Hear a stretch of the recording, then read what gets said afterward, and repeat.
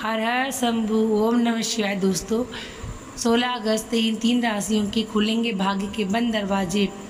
जब राहु की बदलेगी चाल, ज्योतिष शास्त्र में राहु को मायावी ग्रह का दर्जा प्राप्त है। कहते हैं कि राहु जीवन में होने वाली आकस्मिक घटनाओं का कारण बनता है। जाने राहु के अपने चाल में बदलाव करने से किन राशियों का बेड़ा पार होगा। वैदिक ज्योतिष शास्त्र के अनुसार हर ग्रह समय समय पर अपनी राशि बदलते हैं। ज्योतिष में राहु को एक क्रू ग्रह माना गया है।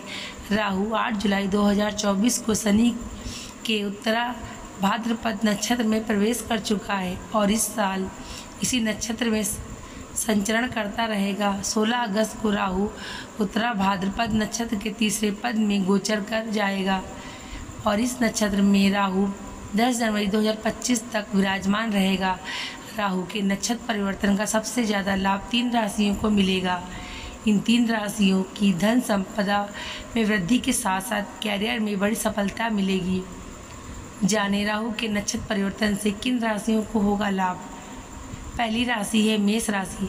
मेष राशि वालों के लिए राहु का नक्षत्र परिवर्तन बहुत शुभ रहेगा। भाग्य का साथ मिलने से कई मुश्किल कार्यों में सफलता हासिल होगी। नौकरी की तलाश करने वाले जातकों को अच्छे अवसरों की प्राप्ति होगी। कार्यस्थल पर उच्च अधिकारियों का सहयोग मिलेगा।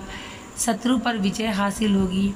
साथ साथ धन लाभ के प्रबल योग बन रहे हैं। नंबर दो है मिथुन राशि।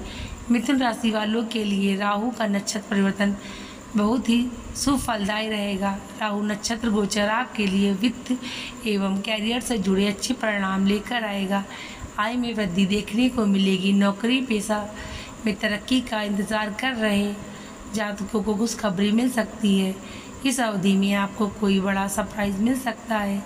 आपके व्यक्तित्व से लोग प्रभावित होंगे। नंबर तीन, मकर राशि। मकर राशि वालों के लिए राहु नक्षत्र गोचर शुभ साबित होगा। इस दौरान आप कई बड़े फैसले लेने में सफल रहेंगे।